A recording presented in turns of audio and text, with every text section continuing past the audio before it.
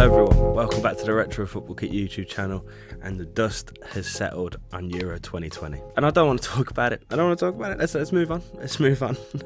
Business as usual now on back on this channel, uh, the previews are over, back to top 5s, tier list, all that kind of good stuff. Um, I think I will dash in a little preview here and there, maybe for some of the bigger games, because those were quite fun to make. But back to the normal stuff, back to the football kits. Today, got a nice special one for you. It's the top five Spain kits of all time. And I'm going to start where most places start the Italia 90 Spain kit. Uh, a lot of football kits from that era are just special. But um, it was a toss up between this one and the 1982 one um, for me. Uh, but I think this one just pips it for, for a couple intricate details. First one being that uh, Adidas predominantly have sponsored Spain over the years. For the majority of Spain's existence, Adidas have um, sponsored them. But for, for a couple years here and there, the Coq Sportif have, and I think this, you know, that makes this kit just a little bit special. And they, they made a very nice one here.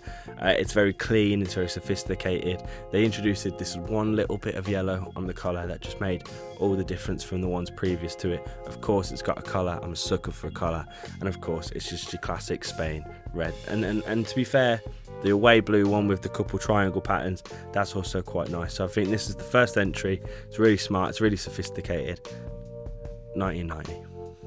So moving forward from 1990, Spain had a couple big hitters in a row. We all know, you know, 90s kits in general are just always better, but Spain really took that. And I think this there's a spell that I'm going to run through now that were just really special. And I'm going to start with 1994. Of course, 1994 was the USA World Cup, a really, really iconic tournament, and uh, Spain were doing really well. They had a great team. They had players like Pep Guardiola, Luis Enrique, and they have, they were doing well and they had a good tournament. They they lost in the quarterfinals to Italy, Baggio's Italy. There's not much you can do about that, really, is it?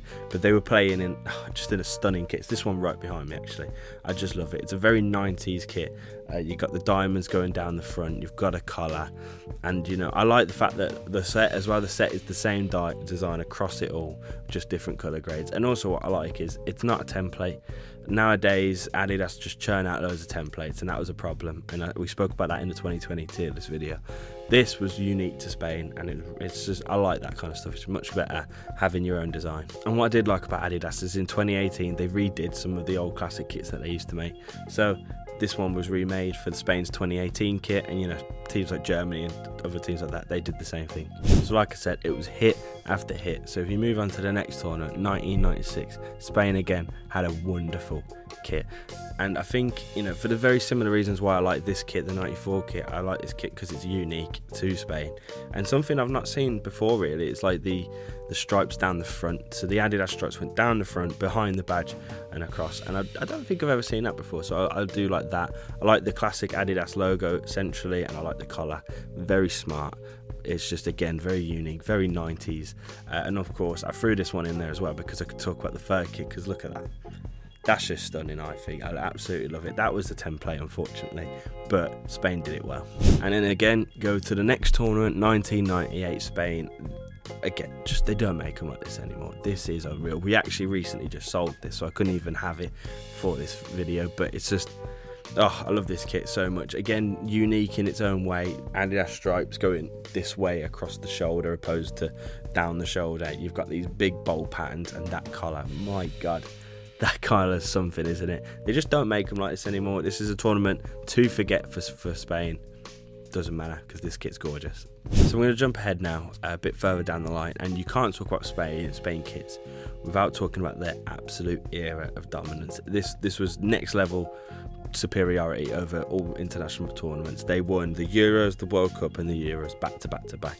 Absolutely insane. Like I remember growing up, you know, thinking, how do you beat that Spain team? There's just no, there's just no way.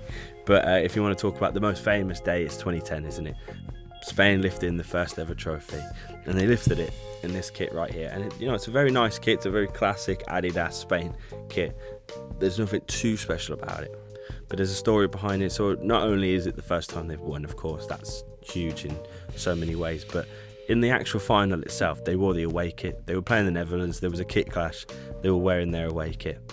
So when it comes to winning and lifting the trophy, they wanted to be in the red kit. They wanted to be representing Spain. So they all got changed really quickly for all the photos, so all the newspapers, all the TV shows. They were wearing this, not the away kit they played in. I just think that's brilliant. Very John Terry esque, but to be fair, they deserve it more than him running on.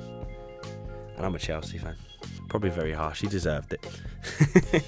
So that's it. Yeah, back to normal programming, talking about kits again. I enjoyed the previews, but you know, we're talking about kits again. And uh, so make sure you subscribe for that. Uh, and you know what?